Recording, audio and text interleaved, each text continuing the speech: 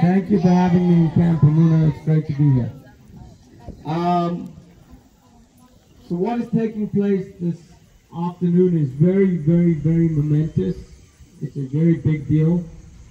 The Rebbe encouraged, as a part of our Hafatzas Hamaayanos, as a part of spreading out the welcomes of Hasidus, the printing of the Torah Shemal of Hasidus in every place.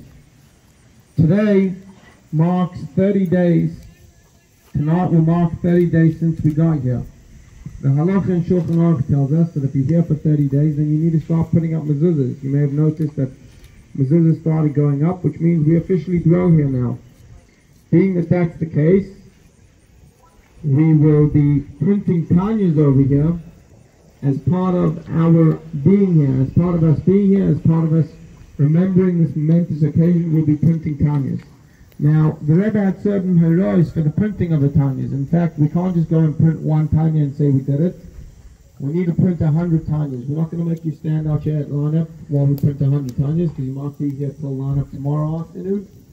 So we'll just be printing one Tanya. Now, the Rebbe was very, very specific that when you print Tanyas, you also need to learn from the Tanya that you print.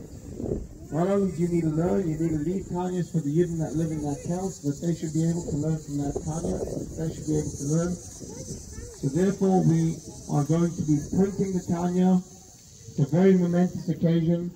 We will be learning from the Tanya that we print. We are then going to be sending it off to be bound. So if you're wondering where is the Tanyas that were printed, we're going to print them. We then need to send them off to a printer while they are being bound.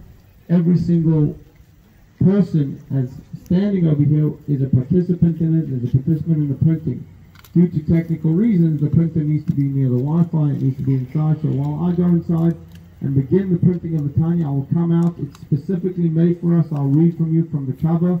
We will learn a little bit from the Tanya to fulfill the Rebbe's heroics of learning from the Tanya that you print in that place. So you'll do the psukim now, while I go inside and print the Tanya.